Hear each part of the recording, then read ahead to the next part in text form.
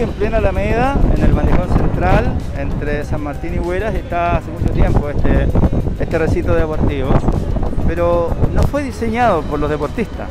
Un día nos juntamos con ellos y nos plantearon una serie de situaciones. Primero, iluminar, que ya lo hicimos. Segundo, eliminar las barandas, que era un riesgo. Y tercero, ampliar la pista a 800 metros cuadrados que se está concluyendo la losa.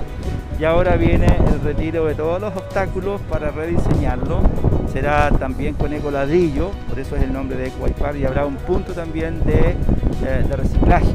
Así que eh, lo hemos hecho en conjunto con, Sebastián y, una veintena de, deportistas del bikepack en, en Bueno, yo creo que eso es lo bueno, yo creo que eso es lo fundamental hoy día, sobre todo por la época en que estamos viviendo, en que mucha gente eh, ha entendido la necesidad de disfrutar de espacios al aire libre, de tener la opción de poder también compartirlos en familia cuando esto se puede hacer.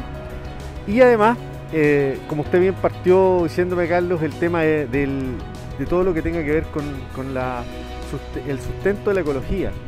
Eh, yo conversaba recién con Sebastián y me pareció una, muy buena idea y como lo han planteado. O sea, reunir los objetivos deportivos de resguardo al medio ambiente, de compartir un espacio al aire libre, creo que, tiene todas las características para que esto sea eh, una muy buena iniciativa en la que nosotros también lo que podamos vamos a poder eh, compartir. Eh, enorgullece bastante ya que hacía falta el implemento en este deporte, sobre todo para los que tienen la disposición de lograr cosas más grandes de estar acá.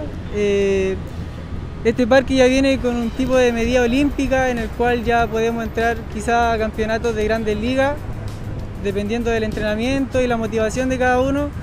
Y con los tips que nos dio la MUNI, ahora vamos a hacer un club deportivo para que todos, o sea, para que en realidad todos estén invitados a ser partícipes de ello. Y agradecido en verdad porque lo queríamos bastante.